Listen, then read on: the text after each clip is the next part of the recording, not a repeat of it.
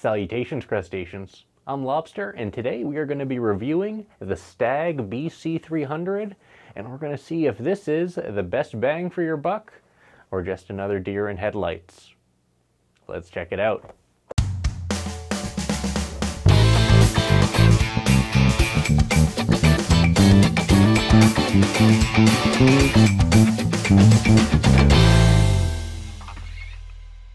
This is the BC300 from Stagg, a budget brand that's not too well known in the US. Brand new, you can buy these on Amazon for around $240. So today we're going to find out if this bass is worth the $240. Now on paper, it doesn't look too bad. The body is listed as alder, you have a solid maple neck, and a rosewood fretboard, 24 frets, 34 inch scale, a PJ pickup configuration with a volume volume tone control setup, a bridge like you saw on the Minion as well as the Hofner bass, same exact style cheap bridge, um, a rerouted control cavity, four cheap tuners, it's a bass. Now I do question the integrity of that alder claim. They must be using some very cheap or not very dense wood because this bass weighs 6.8 pounds. It is very light and feels very cheap. This bass weighs less than BB. Three pounds less, Three pounds less. approximately. Think about it.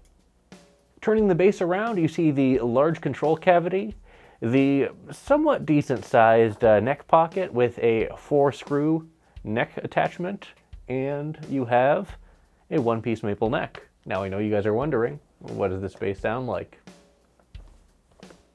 You guys know what you need to do. Go ahead and pinch that like button so my hand will turn back to normal.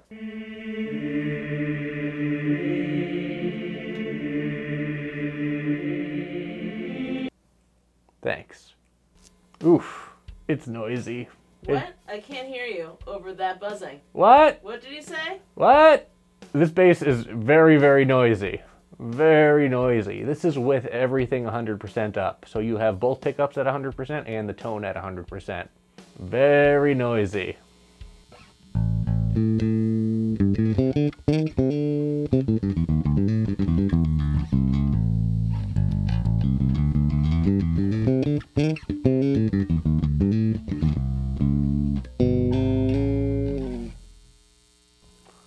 Now the tone isn't bad if you can get over the outrageous hum that never goes away.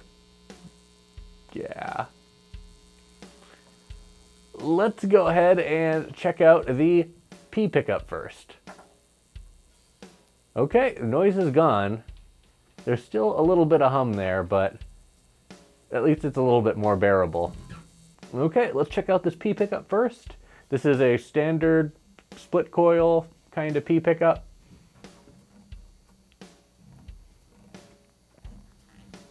Nothing too special about it. Let's see what this sounds like with the tone at 100%.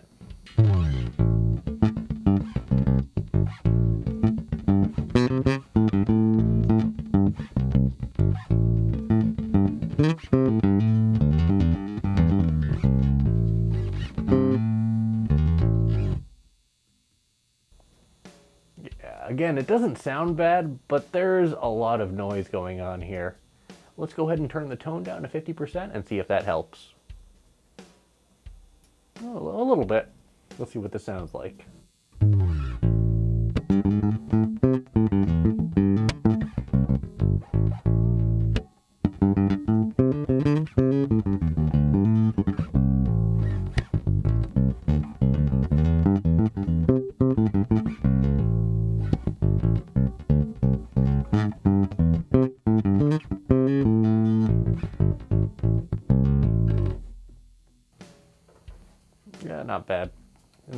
Turn the tone down all the way.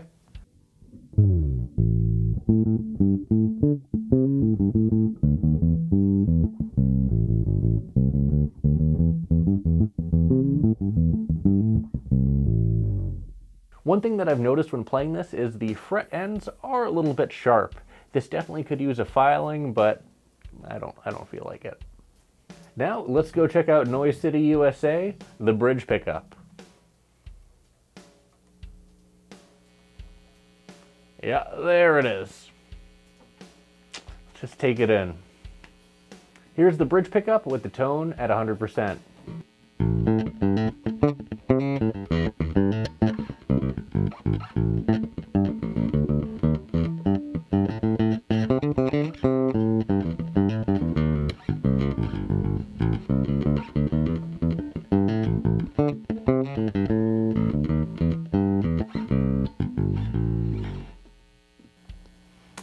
Here's the tone at 50%.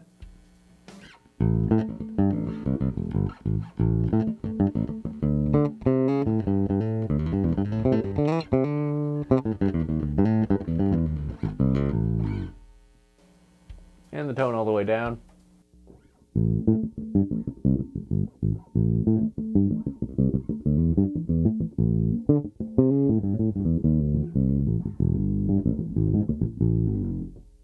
And let's bring the P pickup back into the mix. More noise. Here is the tone at 100% with both pickups at 100%.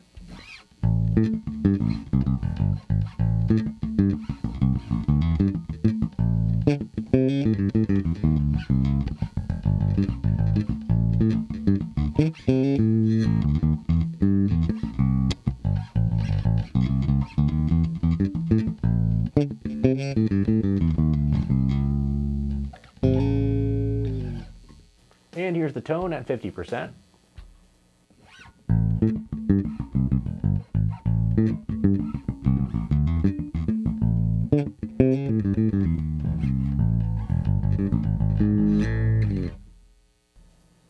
And the tone all the way down.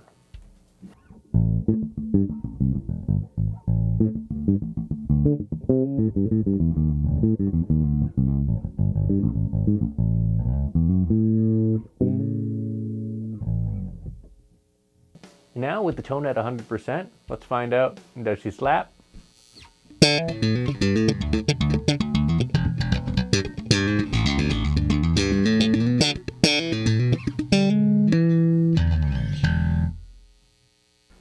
Oh, that's so noisy. Uh, now let's see what this sounds like with some drums behind it.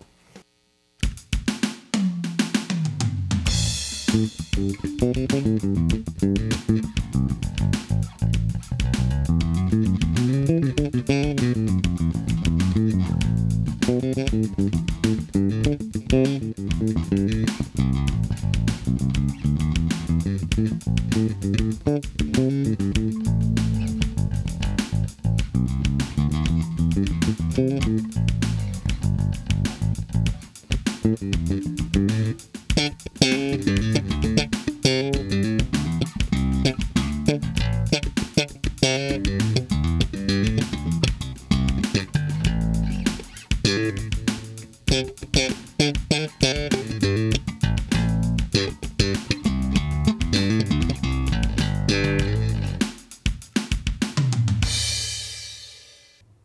my final thoughts on the Stagg BC300.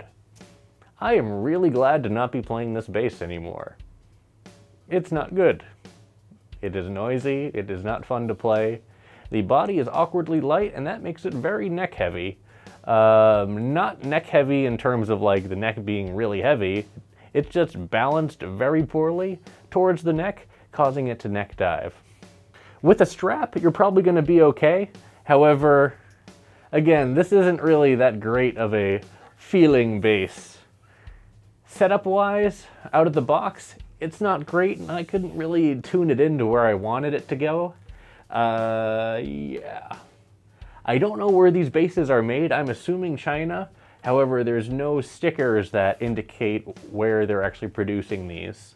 Sketch. Sketchy!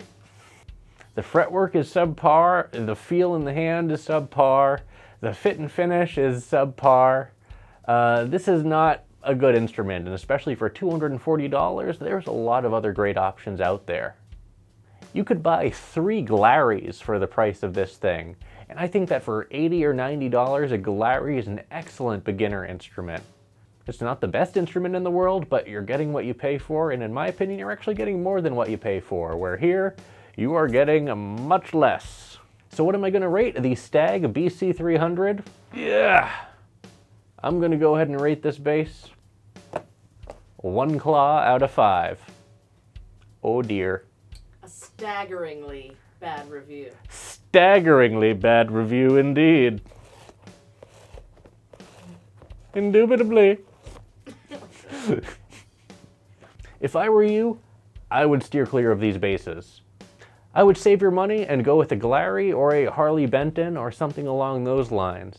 Even the entry-level Ibanez's or the entry-level Jacksons are much better than what you're getting here. There's a lot of great basses out there for beginners, and this is not one of them. So steer clear. Even with a discount, do not buy this bass. Well, that's it for this video. Thanks for watching, everyone. Be sure to like, subscribe, join our Discord, and leave a comment down below and let me know what you think about the Stagg BC 300. And as always, until we groove again,